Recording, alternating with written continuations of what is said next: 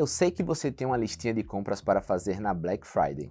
E tá tudo bem. Essa é uma ótima oportunidade de garantir aquele produto que você estava namorando com descontos.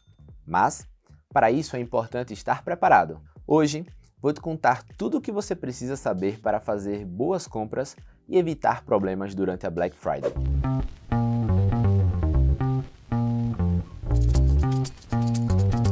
Eu sou o Felipe e te dou boas-vindas ao seu Bolso Pergunta, a série de educação financeira do C6 Bank. Quer ver mais conteúdos como esse? Inscreva-se aqui no canal para não perder nada.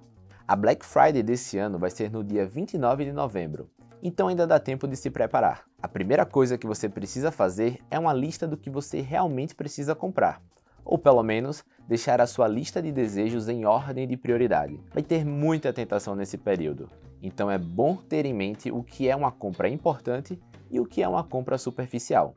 Segundo, defina um orçamento. A Black Friday é uma ótima oportunidade de aproveitar descontos, mas não vale comprometer a sua saúde financeira. Terceiro, pesquise e muito. Infelizmente, algumas lojas podem oferecer falsos descontos, o famoso metade do dobro. Para evitar cair nessa armadilha, vale olhar desde já o preço do produto que você quer. Assim, quando entrar em promoção, você vai saber se realmente o preço está mais baixo ou não. Agora, se o desconto for alto demais, também é um ponto de atenção, pode ser golpe.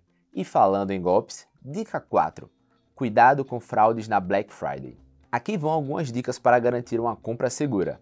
Pesquise a reputação da loja antes de comprar. Você pode ver comentários e reclamações nas redes sociais e sites. Use o cartão virtual para maior segurança nas compras online. Ele é mais difícil de ser clonado. E agora uma dica extra. Fique de olho nas ofertas da Carbon Friday do C6 Bank vão rolar várias condições especiais nesse período, desde produtos com desconto na C6 Store até investimentos com taxas especiais.